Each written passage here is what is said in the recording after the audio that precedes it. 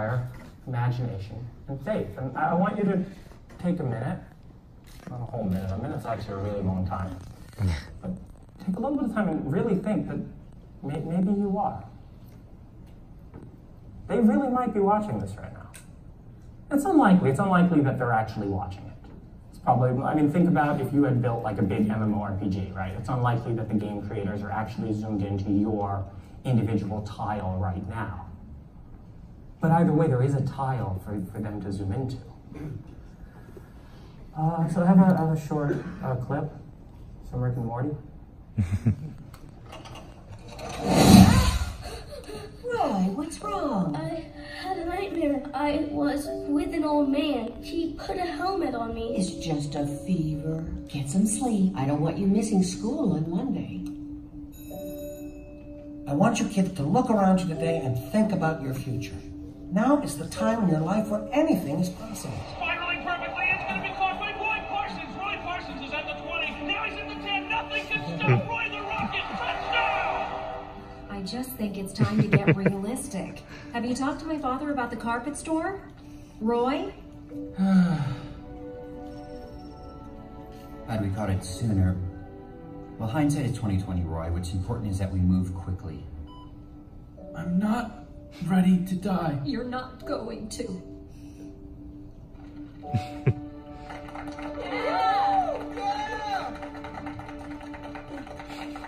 Okay, thanks for the carpet, Roy.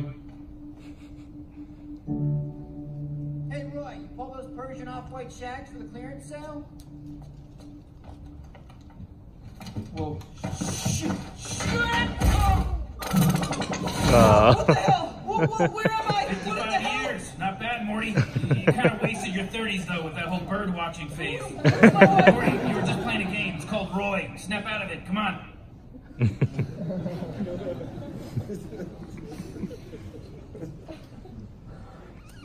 Are you sure that that's not what happens to you when you die? but really, you, you, you know, again, I was I was raised atheist, and you you dismiss the notion of the afterlife. You dismiss the notion of, of heaven as like almost a childish uh, fantasy. But why is this not true? Like, why is this? If let's say, let's even say, let's even go a little more earthly here. Let's say that future me is bored, and like, I write myself a video game. I don't want to enjoy the game, right? I mean, if you really want to enjoy games in the future, you're going to need to selectively mute certain parts of the memory. And clearly, that's what happened there, right? So maybe, uh, maybe these were the greatest years of my life, and in the future, I create a video game so I can replay them. And that's where I am right now. Now, I'm not sure about this. I'm not willing to die to find out. But how do you know? Now, it's easy to dismiss this. It's easy to just be like, no, no, no, no, I've been set in my ways for many, many years, but there's no real proof or evidence that this isn't true. Um, let's talk about a little uh, story I made up. It's called The Parable of the Cage Tiger. It's about a tiger in a zoo. Um, but it's a nice zoo. It's not like a sad zoo where we put the tiger in a small cage. It's not like that. It's a nice zoo, and the tiger is in a beautiful, lush meadow uh, with plenty of room to roam. And in his youth, he does roam. He roams from the fake wall on one side to the fake trench on the other side. And he knows intellectually that tigers are in zoos. And that zoos keep tigers in cages. But he sees no evidence for this cage. Remember, he's a tiger, he only has a tiger brain.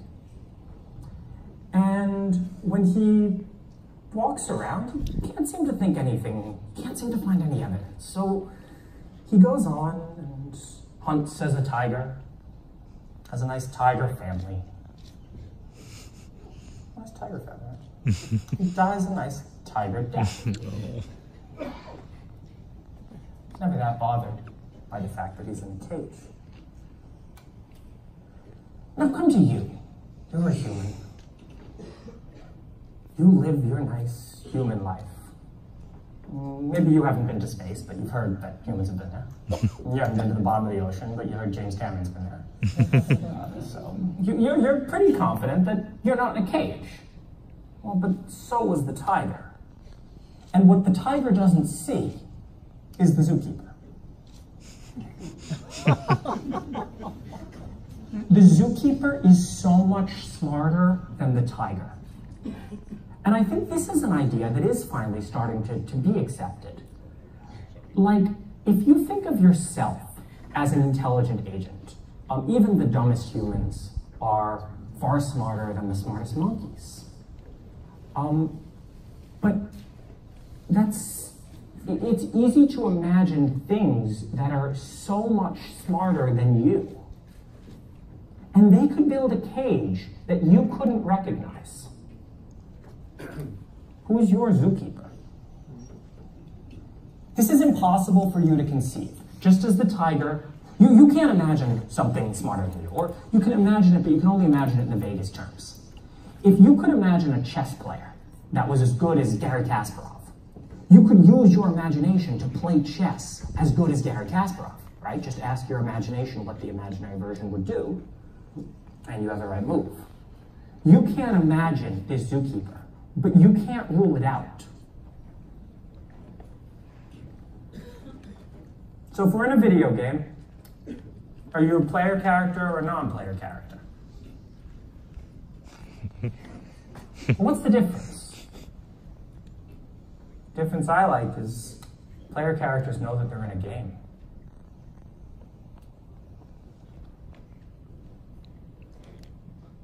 All right.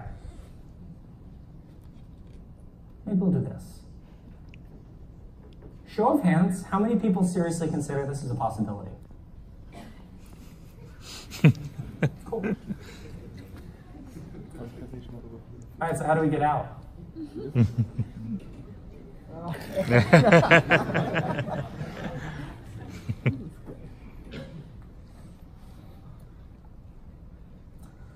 So we're probably running in a data center somewhere.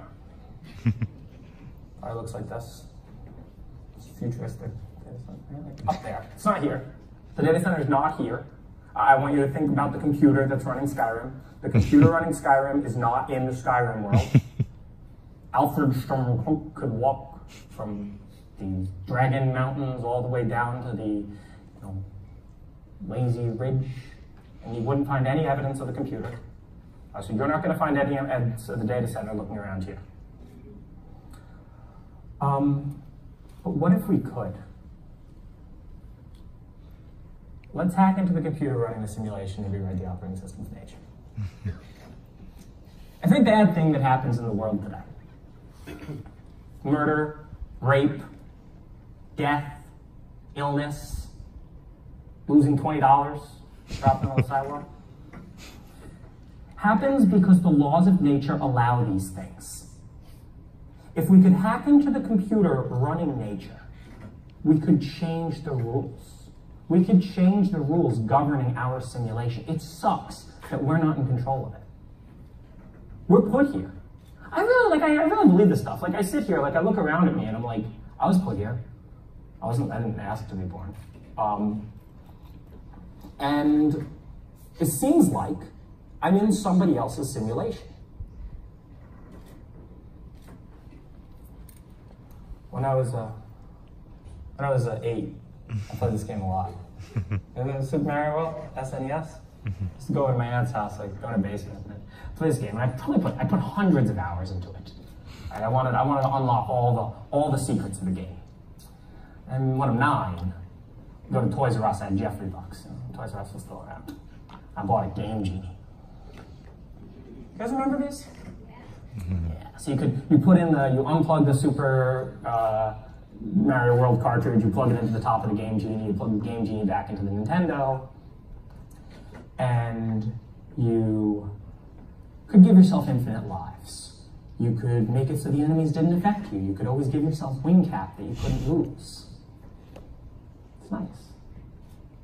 And this even in a low consequence world. You know, today's world, if you think there's any real consequences, think of what we could change. Now, I'm not sure I want them, you know, unplugging the cartridge running the universe. I don't know how the save states work. Um, I don't even know like how we'd ask God to put the game genie in. But do we have to?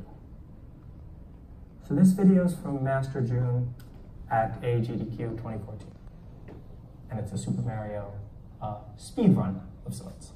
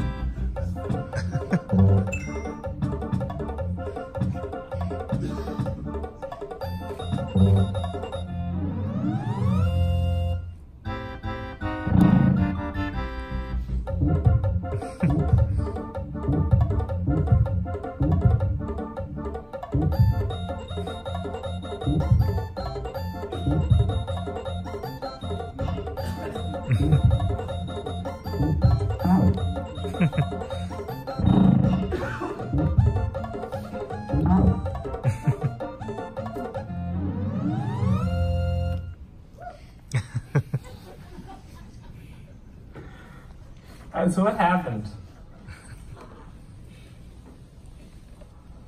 Um, he did a lot of weird stuff. Moved a bunch of shells around, moved a bunch of Goombas, jumped on a bunch of people, did some weird stuff with Yoshi. Uh, what that was doing was setting up the memory of the metacomputer in such a way that after he triggers the final exploit, the ex- uh, processor jumps to his arbitrary code. There are no Pong and Snake mini games hidden in Super Mario World. Those were completely injected. That is arbitrary code execution on the Super Mario World game. Um, so SethBling did a bunch of YouTube videos about this as well. Uh, and that is a hex editor actually running inside of Super Mario. And that's the hex editor hex editing itself. So if you're Mario, now you might think, okay, well, what does it mean to be Mario? Assume that Mario is an intelligent agent.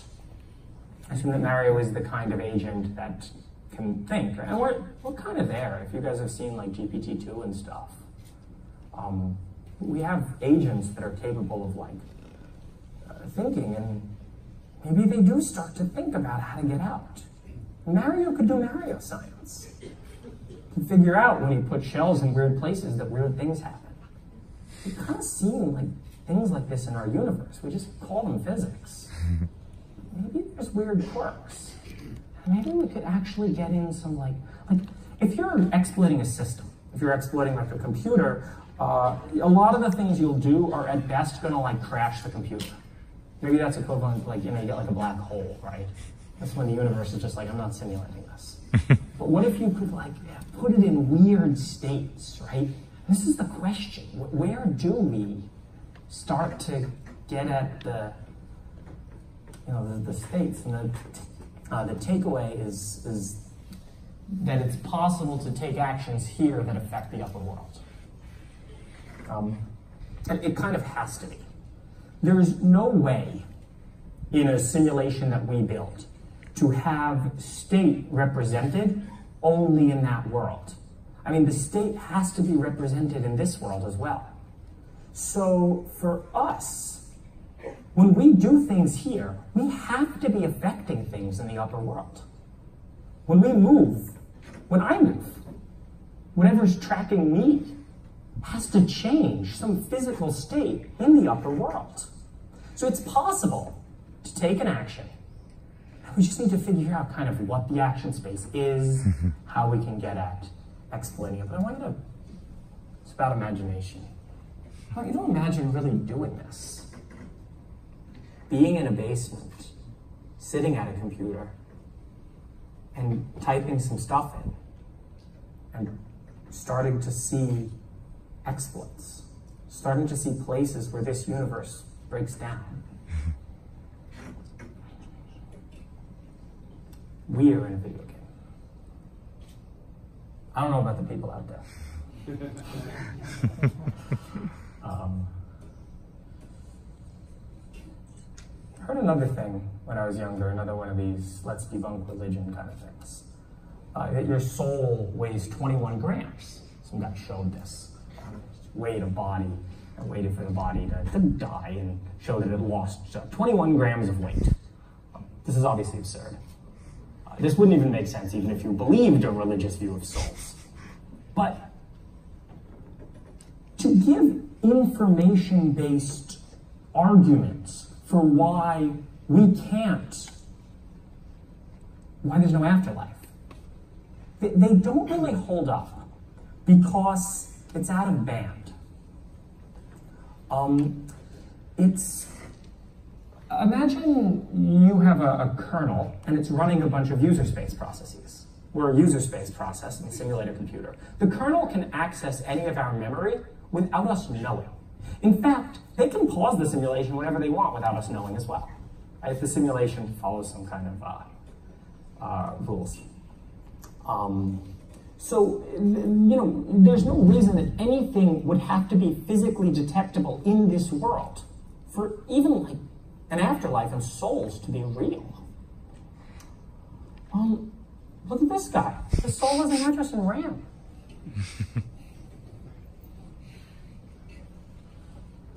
um, so this brings me to the next part of the talk.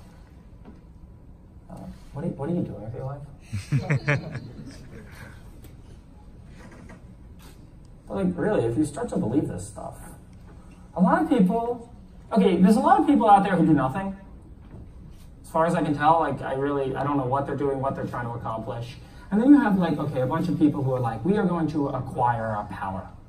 Um, many shapes and forms. In today's world, it's much better to go these very uh, uh, circuitous routes to acquire power. You know, you can't just stand up in front of an audience and say, I want to acquire power. Uh, it's frowned upon today. um, I told you it's offensive. It's offensive. Uh, but a lot of these people, they stop at power over people. People who want to go into politics, people who want to be CEOs, what they're looking for is power over people. Even people who want to make a lot of money, what fundamentally does money buy you? Uh, there's a great uh, sci-fi book set in the uh, prime intellect universe that goes into the root of all money is really human suffering. Um, I'm not sure that's exactly true, but I mean, kind of. Money just really buys you power over people. But what if you don't care? I want power over nature. It's much more fundamental. We're all running. If nature is the computer that's running us, we're all running on nature. Uh, so I started a company a few years ago, Comma AI. Um, I'm about to have a lot of money. Uh, there's kind of only one thing worth doing. Like, here I am, right? I'm stuck in this little world. I don't get that.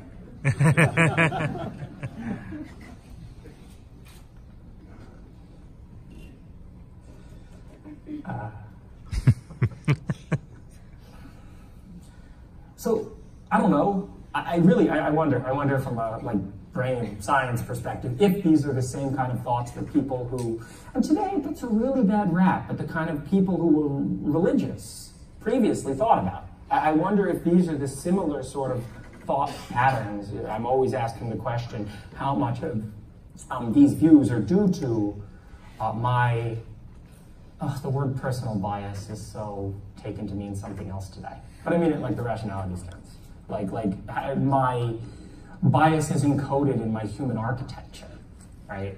Um, the great book, Elephant in the Brain, uh, by Robin Hanson. If you guys want to read more about that stuff, but um, there's an Eminem quote. Uh, the cells padded and battered like someone else had it before me, and they just kept throwing their fucking cells at it. That's how I feel. That's how I feel in this world. Like, what else are we doing? We all run around in the little simulator, and I don't know, oh, great. Uh, so I'm thinking about starting a church. Do it. um, I mean, see, okay, I started a company, right? You think about, there's a lot of almost structural problems with companies.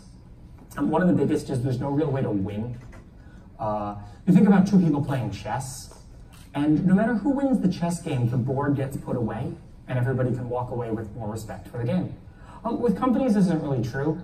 Kind of, there's only a way to, to lose. Um, oh, you win with your acquisition. Not really, you just pass the board off to somebody else. Uh, so I, I feel like churches might be much more aligned with these sort of goals. And the goal of the church would be to redirect society's efforts into getting out.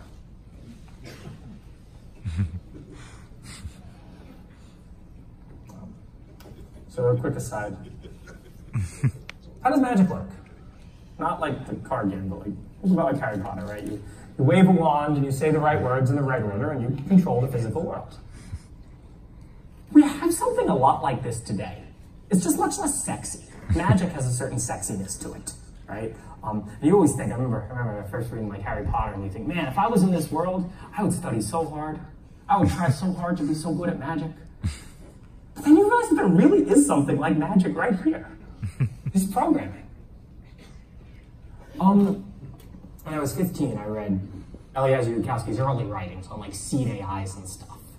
And you realize that right now, with the amount of compute power available in the world, if you typed the right stuff, you could like take over the world. I think we're well past the point where like the right floppy disks worth of information will get you everything. Um, how many people played Paperclip Simulator and got to the Hypnodrones, right?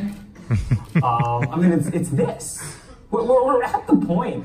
I don't know how close you guys think the singularity is. To me, it seems very close. But now, like, what do we do? If, if, we, if we go through the singularity and we still have the same sort of motivations that we have right now, namely power over people, mm. the world's going to be horrific. um, maybe if we go through the singularity with the right goal, goals that are actually more in line with our newly acquired powers, uh, like power over nature. Um, so I think about like, what does it mean to start a church today? Um, I think about like buying a nice like estate compound somewhere. Um, like starting to really work on it, trying to get the right people together, and starting to say, what does it mean to get out? Um, and no, I mean, no quackery. No, no, no, no, no crap. Everything you say better be like rationally justifiable. I'm a big fan of rationality. Um, I'm a big fan of uh, empirical, uh, and, and everything you say, like, a lot of this stuff, you, you can reject something if something is not falsifiable, right? Like, sometimes people will get caught up in arguments that that argument just isn't, it's not even wrong. There's no experiment that could show one side or the other, but I don't think this stuff falls under that. I think there are experiments we can do that will start to probe at the nature of what the computer running the simulation is. We've done some. If you remember the, uh, uh, how much quantum physics do I really know? Um, like the Bell inequality. Right? And they built, they built a machine to actually verify the Bell inequality and that there really is no local hidden state. They built a machine in a basement in a state compound somewhere, probably in an academic lab before the universities went the way they did. But, um, yeah, so I don't know. It's an idea. I'm thinking about it. Do it. Um, but it seems like, I don't know, what's next? Seems like it's worth doing. Hmm. All right. Denouement. Ever see Clerks? I like that. Um, I'm almost 30. Like, this is from Rise of Nations. Attrition. A lot of things are attrition. Think about buying a house, who's gonna dust the furniture? Right? Like, it's all these little things that just chip away at you. And on a biological level, biology is chipping away as, uh, at me as well. Um, there, you know, uh, it's just the, the wear and decay. And there's a, this isn't just happening to me. This isn't just happening to my house. This is happening to the entire universe, and it's called entropy. Um, so if you guys studied, this was high school chemistry, uh, energy can't be created or destroyed. Um, it seems like also that there's a finite amount of energy in the universe. But this isn't true about entropy. Entropy is a measure of almost useful energy. And the amount of entropy in a closed system only goes up. So everything that we do, the rough, maybe people talk about it in terms of like order and disorder. Every time you want to create order somewhere, you're creating immense disorder somewhere else. You're actually creating more disorder than you are creating order. Entropy goes up. Um, some physicists talk about entropy in terms of this is time, this is what we experience as time, uh, entropy increasing. Um, so if, I don't know if you guys have looked, but I think this is even non-controversial. You guys all do live in the universe. Um, so this is our history, fairly non-controversial history. Uh, and we're up to the point where like life on Earth begins. Maybe we're a little bit after that. Big Bang, and then everything kind of swirled around and came together. Um, have you guys looked at the projections of what happens next? So here we are, uh, at present day. Um, everyone knows the sun's going to burn out. People kind of joke about it. Uh, but, oh, don't worry, humanity will be an interplanetary species by then. We'll just get on the spaceship and we'll go to the next planet. Well, some bad news for you. That sun's going to burn out too. Oh, but we'll go to a galaxy that's full of young stars. Well, eventually that seems to run out too. Uh, when people talk about living forever, really, I don't know how serious they are. But if entropy keeps going up, the universe eventually becomes cold and dark to the point that you can't even form atoms anymore. All the protons and electrons are just kind of floating around, and to put them together into atoms would require too much useful work to actually do that. Um, so I'm not obviously the first person to think about this. Uh, there's a great story by Isaac Asimov called The Last Question. Um, how many people have read it? It's a short story. Uh, if you haven't, really go read it. It's really great. Um, I'll, I'll tell you what the, what the last question is. And the last question is, how can the amount of entropy in the universe be decreased? If we don't answer this question, we're dead. Uh, on a long enough time span, we're dead. Uh, so, I mean, again, this might just be like moving to another galaxy, but it might be better than that. Because we think the universe, I mean, we think the universe all obeys the same physical laws. Um, we think entropy, this, this stuff is, is true about our universe, but it doesn't say anything about the meta-universe. So we have to go up. Um, yeah, I'll post updates on my Instagram if you guys are interested. and I'll take questions. Awesome. Um, yeah, yeah. Oh, I don't know. A weird talk. That's awesome. Um, do, do, I, do I actually believe it? Some days, yes. It's easy to get caught up in a lot of uh, really uh, worldly stuff. Um, but at the end of the day, when I'm lying alone in bed, this is the kind of stuff I think about. Right? A lot of people go through life with a lot of distractions. People find things to distract them. This is frustrating for me, interacting with some people who do this.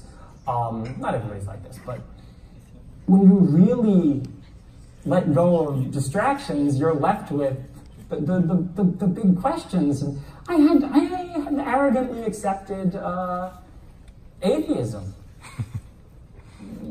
for a large part of my life because I was raised that way, just like any other religious person. Um, but you start to realize that it really may not be true. And if this stuff is true, what can I do right now to live a better life in hopes of getting to heaven? Uh, all right, so we got the questions on here. No, it's down there. Um, all right, can you guys see this?